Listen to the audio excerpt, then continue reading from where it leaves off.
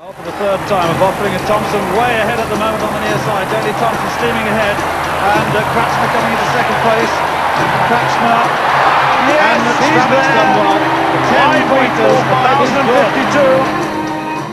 applaus voor iemand die door alle atletiekenners beschreven wordt als een monument dat niet meer geëvenaard wordt. Hier is Mr. Oyodele Deli Thompson.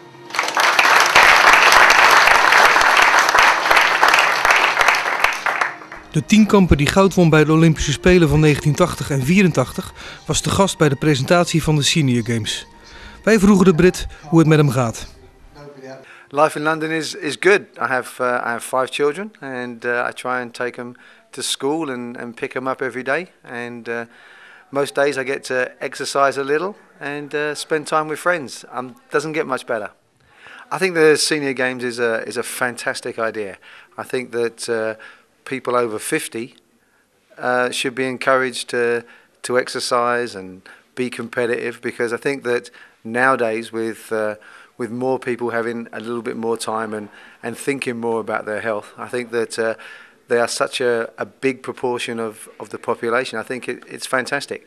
And if they're healthy and, uh, and competitive, they're not such a, a drain on your, on your health service. Well, I'm just here to, to promote it. I think uh, for some mistaken reason, people think I'm over 50 and that I'm the kind of person that, uh, that they would like to have at the Games. De organisatie van de Senior Games zou graag zien dat Thompson zelf meedoet. Maar dat kon de voormalig wereldkampioen tienkamp niet beloven.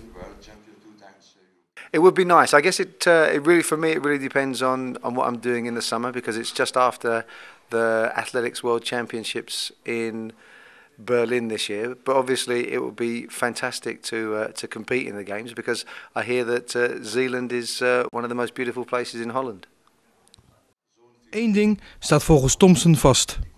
Als hij naar Zeeland komt, neemt hij zijn hele familie mee.